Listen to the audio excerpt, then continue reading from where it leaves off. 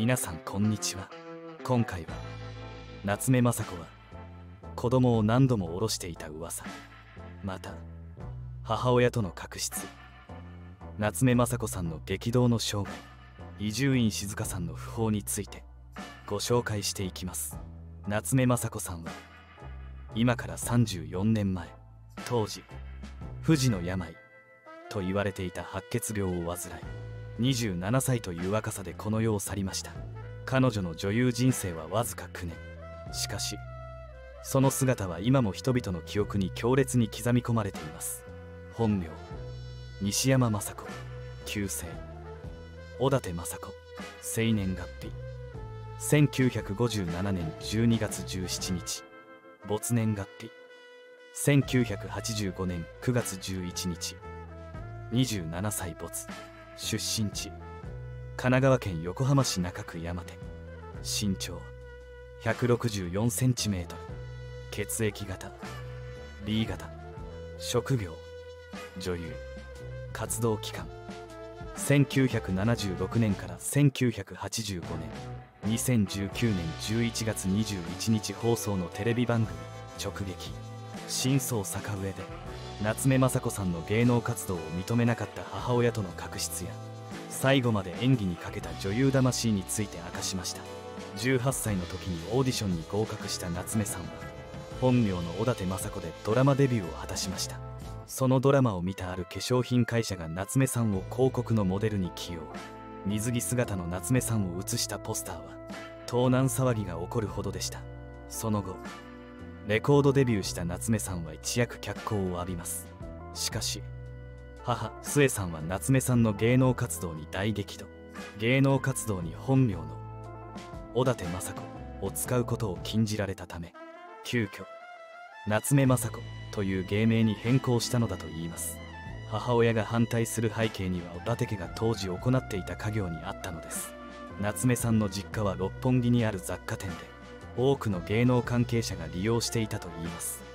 当時の芸能界はスターという印象が強く身近に感じなかった。若い人も年配の方も態度が存在になることが少なくなかった。人間としての一般的な感覚では生きていないと。兄の和夫さんは母親が芸能界に強い不信感を抱いていました。一方一躍有名になった夏目さんにはオファーが殺到します。モデルデビューから1年後に出演したドラマ「西遊記」1978年では実際は男性であるとされている三蔵法師を若い人気女優が丸刈り頭で熱演し大ブレイクします。親友で女優の中井貴恵さんは夏目さんの撮影現場での様子について私の真剣な表情のアップを撮るときにカメラの後ろに彼女がそーっと立って笑うと歯に糊をつけていて彼女が好きだった。より目をするんです。一回。その顔を見ちゃうと次のテイクも雅子がいなくてもその顔を思い出して NG を出してしまうといういたずらをされたことがありますと夏目さんのお茶目な素顔を明かしていました。デビューする前の様子を映したホームビデオでもお茶目な姿が印象的ですが夏目さんは幼少の頃母親の愛に飢えていたといいます。兄の和夫さんはおふくろは働き手としてずっとお店にいたので雅子はひいおばあちゃんが育ててくれて子供の頃からそこに対してものすごく寂しさを抱いていてお母さんに認めてほしいという思いが強かったと明かしています。その後デビューをした夏目さんは持ち前のキャラクターで芸能界での居場所を作っていきますが仕事用のメイクをしたまま家へと帰ると母親に小立雅子に戻ってから帰ってきなさいと叱られるなど家の中に夏目雅子を持ち込むことは許されなかったそうです。兄の和夫さんはおふくろは小立雅子という女性は誰よりも愛していましたし大好きでしたが夏目雅子という女優は認めなかった。またおふくろと僕は基本的には雅子の出た番組とかは見ていないと語っています。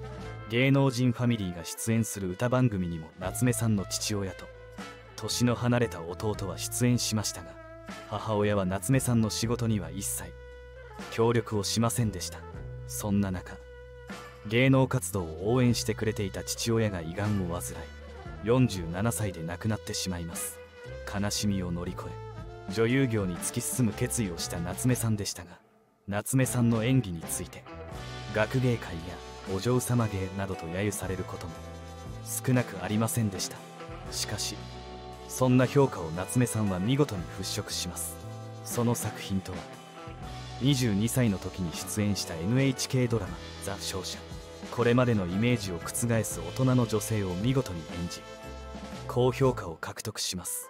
さらに映画「桐生院花子の生涯」1982年では夏目雅子さん演じる松江が単価を切るシーンの「なめたらいかんぜよ」というセリフが流行語になるほど人気を獲得し女優としての地位を確立。この作品でブルーリボン賞主演女優賞を受賞しました。坂上さんは映画が公開された時に俳優さん監督ほとんどの人が言っていたと思います。誰かをキャスティングしたいって言ったら夏目さん。誰と共演したいって聞かれたら雅子さんっていうくらいのインパクトは何のお世辞もなくあったと思います。そして夏目さんにとっても手応えのあった作品だったことから母親を試写会に誘ったといいます。しかしこの出来事が2人の溝をさらに深めてしまったのです。映画の中では夏目さんが演じる主人公が夫の死を見とる場面がありこのシーンは父の最後を見とる母親の姿を演技に生かしたものだったそう。夏目さんは良かれと思ってこのエピソードを母親に伝えると。そんなことまで演技に使わなくてはならないなんて。と激怒されたといいます。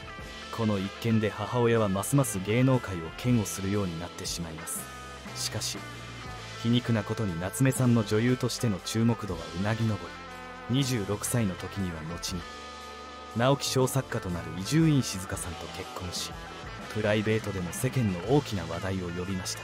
そんな伊集院静香さんと夏目雅子さんが出会ったのは1977年のことでした。伊集院さんが27歳の時。CM ディレクターとして金棒化粧品サンケーキの CM を担当。起用されたのが当時まだ19歳で無名のモデルだった。夏目雅子さんでした。しかし当時の伊集院さんは既婚者。妻は2人目の子供を妊娠中だったといいます。伊集院さんは第二子誕生を前に家を出て1980年に妻と離婚しています。その後も夏目雅子さんとの関係は続き1984年8月27日に7年の交際の末結婚しました。このように略奪愛と言われてもおかしくない形でのゴールインでした。しかし伊集院さんは夏目雅子さんとの交際期間中に女優の桃井かおりさんとも関係を持っていたと言われています。三角関係に苦しみ。夏目さんは桃井さんに伊集院さんに渡さないために結婚を決めたようです。伊集院静香さんと夏目雅子さんに子供はいたのでしょうか。実は夏目雅子さんは伊集院さんとの交際期間に子供を何度も下ろす経験をしています。2006年に夏目さんの実母の小立末さんが著書「二人の雅子母だから語れる夏目雅子の27年」を発表。本の中には夏目雅子さんが伊集院静香さんの子供を妊娠。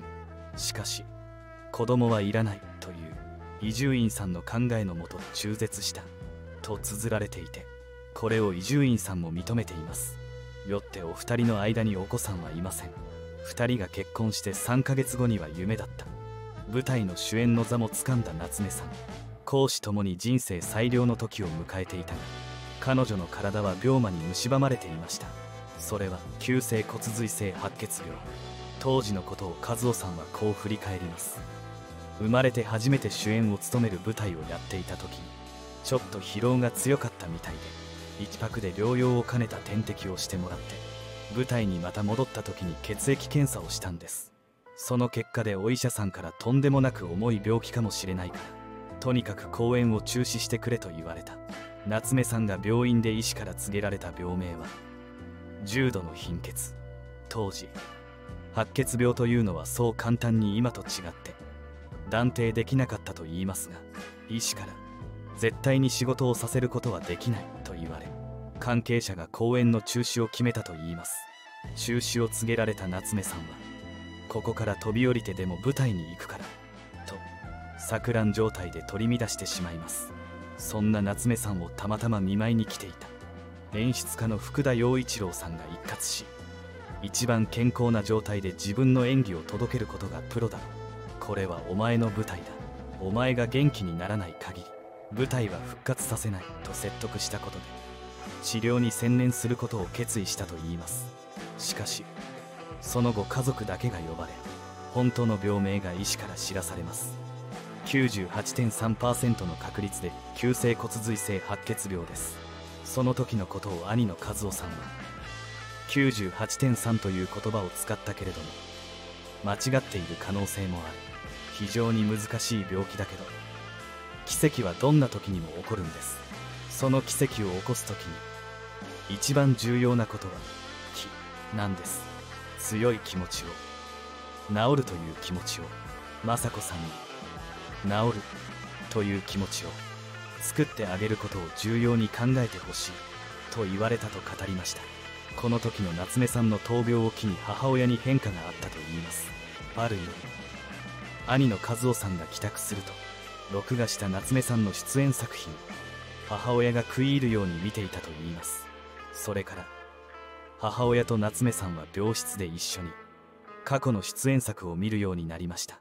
和夫さんは母親の心境について雅子が一番大好きな世界はエンターテインメントの世界おふくろの中でこの子を生かしてあげるためには一番求めている世界を認めてあげなければ助けられなくなっちゃうと思い今度は誰よりも夏目雅子のファンになろうとしたのではないかと明かしました。当時は富士の病とさえ呼ばれていた白血病。高い効果が期待できる新薬も出始めていましたが髪の毛が抜けてしまうという副作用もあり母親は女優としての夏目さんを案じ新薬での治療に反対しました。しかし従来の薬では思うような効果が得られず約半年後再び新薬での治療を検討することに。この時夏目さんに副作用による脱毛について伝えると私。日本で一番坊主頭が似合う女優って言われているんだよ。そんなの全然気にならないよと話したと言います。この新薬での治療が効き脱毛吐き気めまい倦怠感といった副作用を乗り越え一度は白血病の症状も消えたことで家族も安堵しましたが抗がん剤治療で免疫力が低下していた夏目さんはその影響で肺炎を起こしてしまい1985年の9月11日27歳という若さで亡くなります。医師も家族も肺炎の併発がここまで悪化するとは予想できず兄の和夫さんは最後の言葉も覚えていないままお別れを迎えたそうです。最後の時が迫る中夏目さんは母親とあるものを作っていたといいます。母親と一緒に刺繍で作った二輪のひまわり。右のひまわりを母親が左のひまわりを夏目さんが互いの思いを込めて作ったのです。実は病院では完成できなかったため夏目さんが亡くなった後母親が最後に残った茎の部分を仕上げこの刺繍を完成させたといいます。夏目さんが亡くなって8年経った1993年母親は兄の和夫さんと夏目雅子ひまわり基金の設立。ドナー登録呼びかけのほかに治療などによる副作用で脱毛に悩む方々の社会復帰を後押しするため無償でカツラを貸し出すなどの活動をしています。そして2008年には母親も他界し現在その意思は夏目さんの兄の和夫さんが受け継いでいます。親友で女優の中井隆めぐみさんは27歳の一番綺麗な時に行ってしまったので彼女がそれからどんな人生を歩んで60を過ぎる年まで生きてきたのかな。どんなおばあさんになっていたのかなって。それは全く分かりませんけど。彼女が生きていたら今日までずっといい友達でいられた自信はありますと親友を忍び静かに語りました。そして2023年そんな夏目雅子さんの夫であった伊集院静香さんもお亡くなりになられました。伊集院静香さんは10月初旬にがんの診断を受け治療のために当面の間の執筆活動休止を発表していました。伊集院静香さんは20年1月くも膜下出血で倒れ緊急搬送されていたが手術などの治療を受けて復帰していました。しかし11月24日に肝内胆管がんのため死去しました。最後の妻である篠弘子さんは突然のご報告になりますが11月24日伊集院静香は長い旅に出てしまいました。かねてより肝内胆管がんの治療をしておりましたが残念ながら回復に至りませんでした。自由気ままに生きた人生でした。人が好きで。きっと皆様に会いたかったはずですが強がりを言って誰にも会わずに行ってしまった主人のわがままをどうかお許しください。最後まで自分の生き方を貫き通した人生でした。私たちに寄り添って2人だけの時間を作ってくださった皆様。そして応援してくださったファンの皆様に心よりご礼を申し上げます。ありがとうございました。と綴っておりました。いかがでしたか？今回は夏目雅子さんについてご紹介しました。結婚。舞台初主演と講師ともに最良の時に龍馬に襲われた夏目雅子さん。短い女優人生を駆け抜けるように生き飛躍へと向かう途上で溶接してしまった忘れられない女優です。60代になった夏目さんの姿を見たかったと思う方も多いのではないでしょうか。そして夫であった伊集院静香さんの訃報。ご冥福をお祈りします。最後までご視聴いただきありがとうございました。コメントを残してくれると嬉しいです。チャンネル登録高評価もぜひお願いします。それではまた。